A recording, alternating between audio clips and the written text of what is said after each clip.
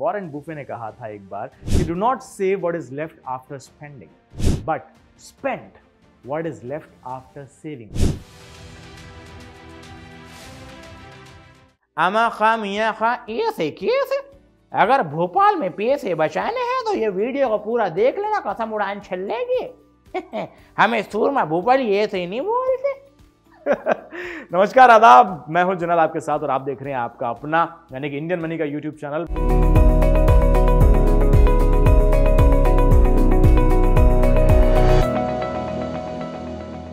वैसे भोपाल में यदि आपको पैसे बचाना है, वैसे पैसे तो आपको किसी भी सिटी में रहे, बचाना ही चाहिए बिकॉज़ हम फ्रीडम पे कहते हैं कि money saved is equal to money earned तो आज भोपाल से शुरुआत करते हैं और कुछ जेनरिक टिप्स भी बताऊँगा आपको कि कैसे आप कम सैलरी में गुजारा कर सकते हैं या फिर आप कम सैलरी होने के बावजूद भी सेविंग्स कर सकते हैं। भोपाल से शुरुआत करते हैं। भोपाल की अगर बात करें तो ये मध्य प्रदेश की राजधानी है, नवाबों का शहर है। इसे हम अगर मध्य प्रदेश का उदयपुर कहता हूँ मैं तो अधिकतर क्योंकि यहाँ पे बहुत सारी लेक्स हैं, झीलें हैं।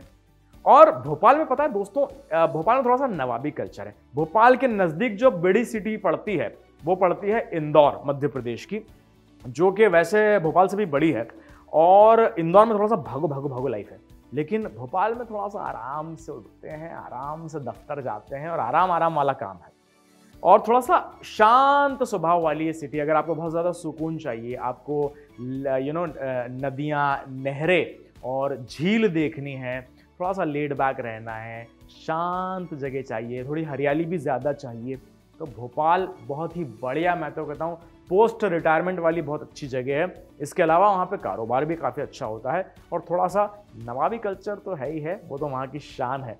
चलिए, अब बात करते हैं कुछ बचत के बारे में कि आप कैसे अगर भोपाल में रहते हैं तो वहाँ पे बचत कर सकते हैं। सबसे पहले, भोपाल जो हमारा ये मिशन आया था, जो कि फ्लैगशिप स्मार्ट सिटी मिशन की अगर बात करूँ तो भोपाल 20 ऐसी सिटीज़ में था जिसको के स्मार्ट सिटी में कन्वर्ट किया जाएगा। और उस पर काम भी चल रहा है। साथ ही साथ भोपाल की बात करें तो बहुत साफ़, स्वच्छ अच्छा और ग्रीन सिटी कहलाता है। वहाँ का जो वातावरण है, तापमान है वो भी अमूमन तो इंदौर के कंपैरिजन में थोड़ा सा ठंडा रहता है।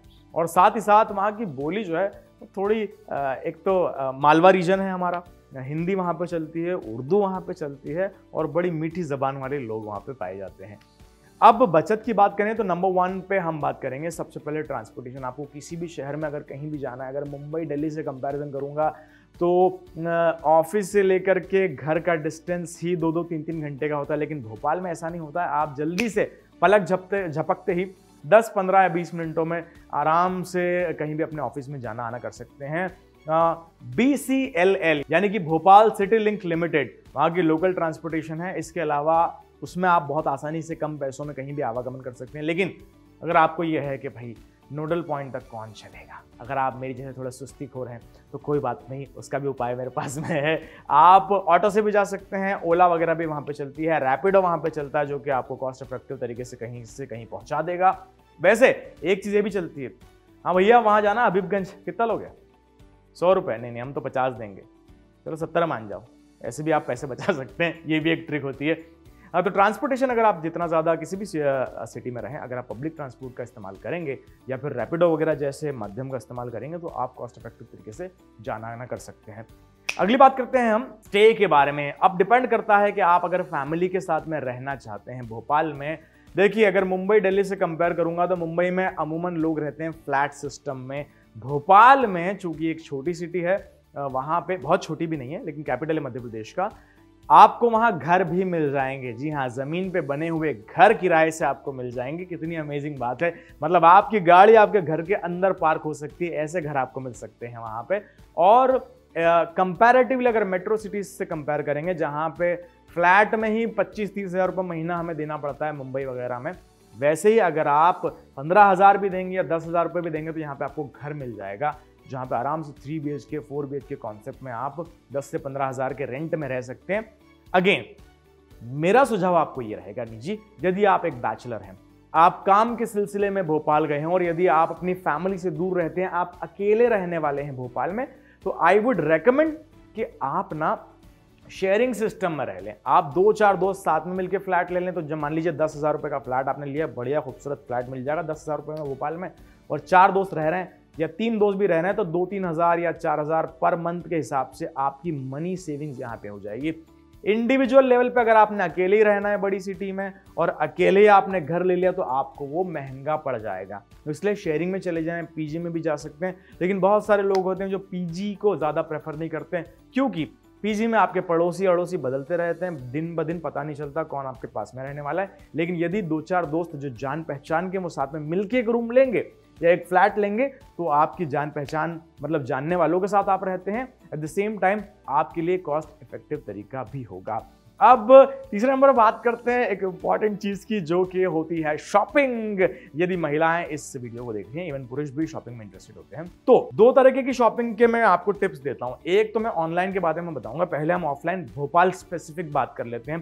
भोपाल के तीन चार मार्केट बताता हूँ मैं, जहाँ पे आप जाके सस्ती सुंदर, चाहे आपको हैंडमेड क्राफ्ट खरीदना है, चाहे आपने कपड़े खरीदना है, चाहे आपने और भी कोई शॉपिंग करना है, कुछ चार पाँच अमेजिंग मार्केट बताता हूँ। भोपाल, पुराने भोपाल आप चले जाइए, गलियों में थोड़ा जाना पड़ेगा, लेकिन अच्छी अच्छी सस्ती सस्ती यूनिक चीज़ें आपको वहाँ पे मिल जाएँगी। तो एक है आपका चौक। आप चौक चले जाइए, वहाँ पे आपको ढेर सारी चीज़ें मिल जाएँगी।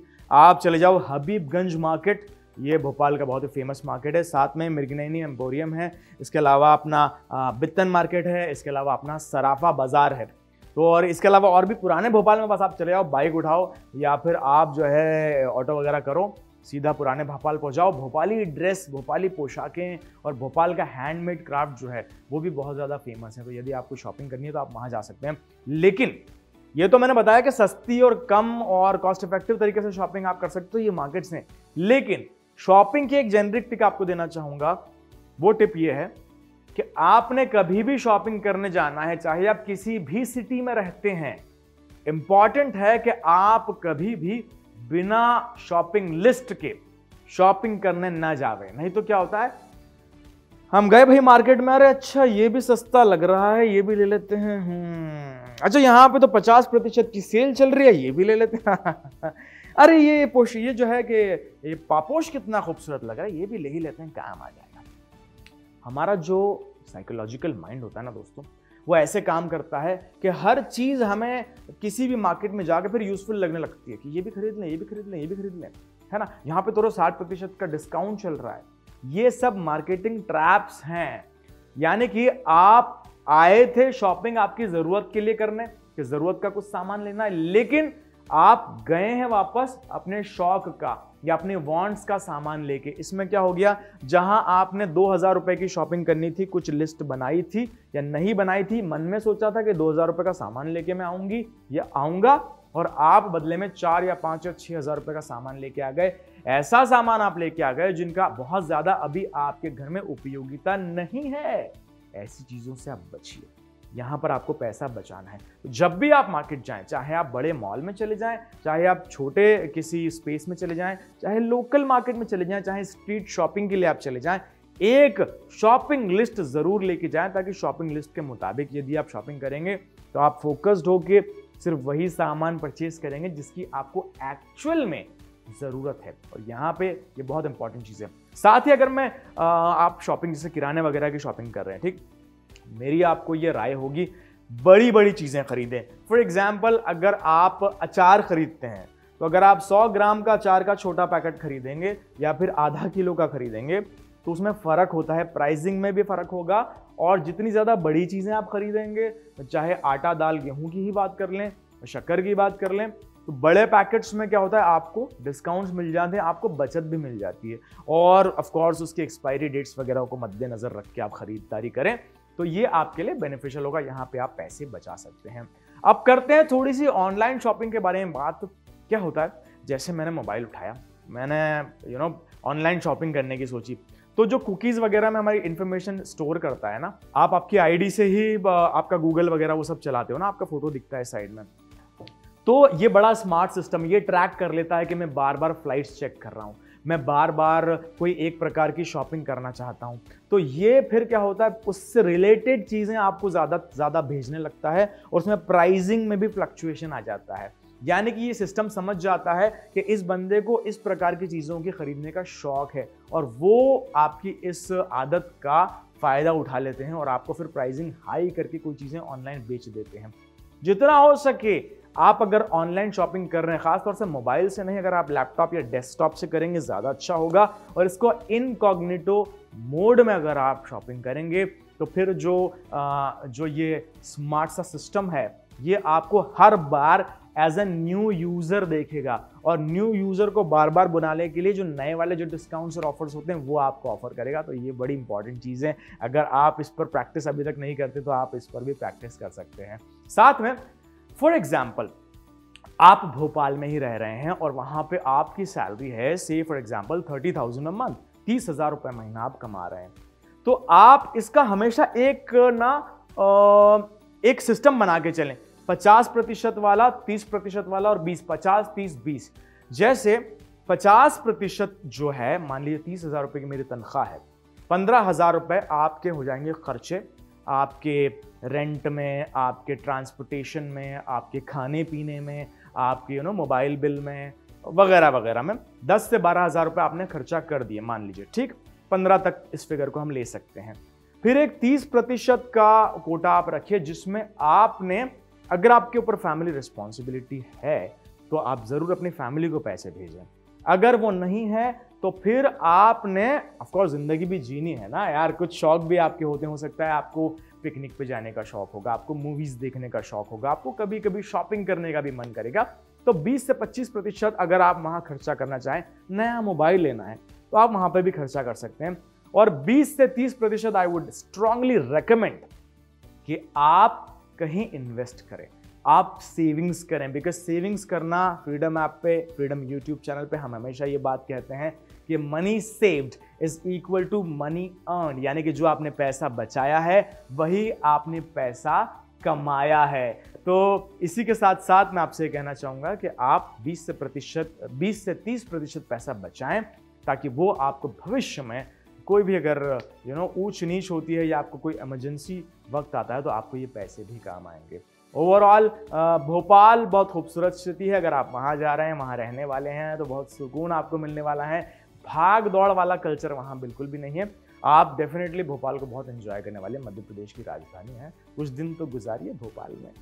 तो चलिए दोस्तों, इस वीडियो को, इस बात पे हम खत्म करते हैं कि एक महान इंसान वॉरेन बुफे ने कहा था एक बार कि do not save what is left after spending but spend what is left after saving मतलब सीधा सा ये कि आप अपनी स्पेंडिंग के बाद में या फिर अपनी फ्यूचर को पहले सिक्योर कर लें। आप अपनी सेविंग्स को पहले सिक्योर कर लें। अपने आप को आश्वस्त कर लें इस बात से कि मेरे पास में इनफ ऑफ़ बैकअप है, हर चीज़ का। इमरजेंसी फंड्स मेरे पास में है। और फिर लोन से मैं रिहा हो चुका हूँ। उसके बाद में फिर जो भी बचता है, आप स्पेंड कीजिए, ज़िंदगी जिए, आराम से एंजॉय कीजिए। इसी नोट के साथ में और इसी कोड के साथ में मुझे यानी कि जुनाद को दीजिए इजाज़त। ये था एक यूट्यूब वीडियो तो आपको क्या करना है? आपने इस यूट्यूब चैनल को सब्सक्राइब करना है। मुझसे बात करनी है तो मेरे भी Instagram and Facebook I D यहाँ पर फ्लैश कर जाएँगे। आप मुझसे बात कर सकते हैं। जल्दी मिलता हूँ किसी अन्य अमेजिंग इंटरेस्टिंग यूट्यूब वीडियो में कुछ नई जानकारी के साथ में। धन्यवाद बहुत बहुत शुक्रिया।